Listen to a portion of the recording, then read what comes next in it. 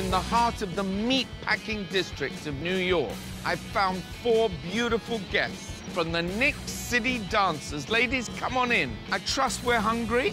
Yeah. Let's go. Chef Hung Huynh, the boss here at Catch and also the general. We're gonna try his Cantonese lobster. Over to you, chef. All right, well, this is one of our most famous dish at the catch. We're gonna rip the claws off. I know that in your early days to make a living, you were in Puerto Rico. Yes, I was. You went to the CIA, to the Culinary Institute. All right, where are you finding out this information? Ah, we've been following you. We're gonna take the heads apart, keep the roe to make the lobster butter, and then this part we're gonna make lobster stock for our lobster cream. Split this in half. I'm a hot ticket today. I've got a date with four women. Whoa, whoa, whoa! I can give you oysters and caviar then. Bring it in. And the tails, we're gonna dredge it in cornstarch. Cooks very fast. All the juices are sealed in. All the shells release its flavor into the meat. We're gonna blanch the claws for about five minutes, and we're gonna salt the water, remove the meat. We're gonna cut the vegetables. I can Amazing. see the speed that you move.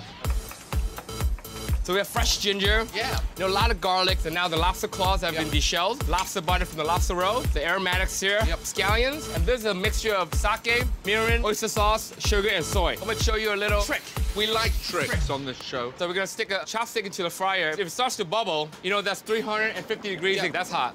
Throw it in. Be careful at home. It means one big guy or uh, five little person. One of me or five of you. Exactly. Well, that was rude. now I just smell the roasting flavor of the Yeah. shell. That would go about, I'll say a minute. Remember how bright the shells are. Perfect. So it's gonna be a very, very fast dish. Right. Don't even blink. We're ready. No blinking. First up, get the pan nice and smoking. Get a little oil. Yep. We're gonna throw in ginger scallion. Smoke that, smoke that baby. You don't wanna flame your pan out without the alcohol because it's gonna taste like carbon. Right. Now that's cooking. Woo, smoky. The jalapeno will get you. Be careful. Right, scallion goes in. No safety officer here. Oh, so here goes the sake. Here comes the flame, right? So fire in the hole. Go in just in time for now we throw the oyster sauce in. Lots of butter. Give it a little swish around, a little toss. Why are you so slow, Chef Hung? New York City, snooze, you lose. Is that a Vietnamese saying? So you see the lobster butter, the coral Yeah. comes out now. Yeah. Nice and red. Lovely. And the starch is sticking to the sauce, right? And the sauce is sticking to the lobster. And the sweetness of the sake is still there. Gorgeous. A slight thing of alcohol. Now it's done. Voila. Beautifully done, Chef. Right, let's go and entertain those ladies downstairs. All right. Are you hungry? Yes. So we have a couple of our signature dishes. A spicy tuna tartare on crispy rice cake. So tell us a little about your careers, how you keep fit, how many basketball players have proposed marriage to you. I've been dancing my whole entire life. I also teach children dance. Ashley. I do a lot of freelance work in fashion design now, and I'm working for the company that actually made all of our gorgeous costumes. All right, Chef Hung, what else? Hamachi with a cucumber cup.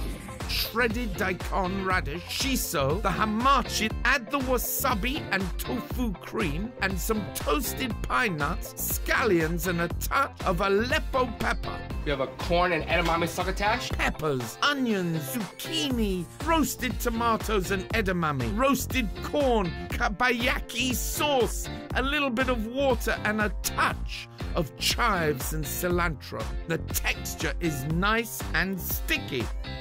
This is his signature, Cantonese lobster. He's world famous for this. Mmm, really good.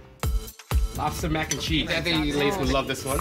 And what's different about this lobster mac and cheese? Well, it's made with a lot of lobsters that's been reduced. It's very light. It has tons of flavor in there. Enjoy. Thank you, Chef Hung. Thank you. It looks amazing. I'm excited to try it. Mm. Well, I'm a fan of macaroni and cheese. Mm-hmm. So this lobster mac and cheese is delicious. Excellent. It's unique. You can still taste the seafood, but it's not too much. So I really, really Are you after my job? You're too good at this. Anna, what about you? I like the lobster. I think it's delicious. Latoya I like the tuna. I like spicy food, so I'm always attracted to that. and Ashley, Same, I love the tuna, but the mac and cheese lobsters, a close second. send me up the macaroni cheese. I'd like some more. You all look in magnificent shape. How many hours a day are you having to exercise? Uh, we try to get one workout in a day. We also watch what we eat. I eat like this three times a day. This is my workout. It's wonderful. Latoya, what qualifications do we need to become a Knicks City dancer? You have to have some technical training, whether it's ballet, jazz, contemporary, modern. And how many girls are in the troupe? There's 20 of us. Any chance after dinner that I could see one of the routines? We can do that. So thanks for being my guest. Thank you for having us.